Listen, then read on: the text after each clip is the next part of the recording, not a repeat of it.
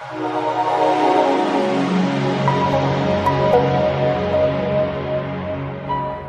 లేదు అనే కామెంట్ ఎంత హాట్ టాపిక్ అయింది అన్నది మనకు తెలిసిన విషయమే.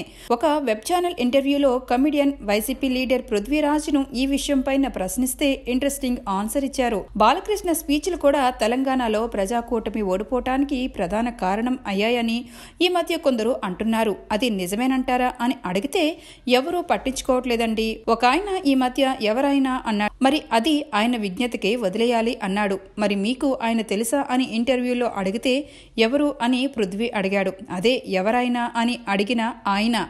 అని క్లారిటీ ఇవ్వగానే బాలకృష్ణ గారు నాకెందుకు తెలియదు? నేను ఆయనతోటి రెండు సినిమాల్లో యాక్ట్ చేశాను.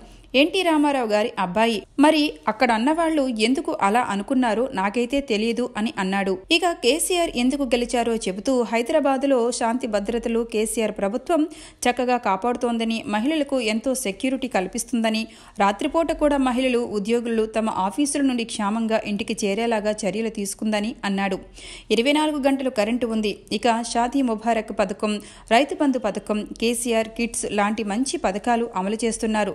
వీటి దీనివల్ల ప్రజలు లబ్ధి పొందుతూ ఉన్నారు. ఇవన్నీ సమాజ శ్రేయస్సు కోరి కేసీఆర్ ప్రభుత్వం చేపట్టిన పథకాలే.